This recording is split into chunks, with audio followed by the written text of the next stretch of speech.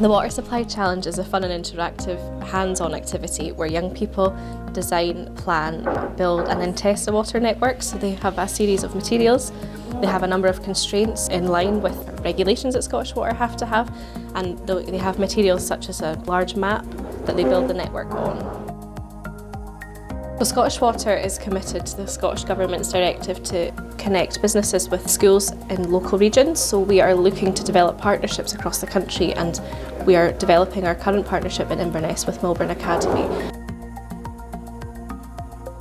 Today is really exciting actually, you know, and it's really incredible to see that, that young people um, focusing on what is a work focused activity. Whole idea DYWS is to bring that work-based um, aspect into class and this is a, just a tremendous example of, of where the young people can you know, get to grips with something that they may relate to later in their life. I think third years, it's important that they get a feeling for what's outside in terms of the world of work, like the maths or the um, planning and the cooperative learning skills that they've developed at school, they will be using in a real life environment. And they're also getting that backed up by the Scottish Water staff who are saying that this is just what their day job is like, that they have to make these decisions and plan and then come up under budget.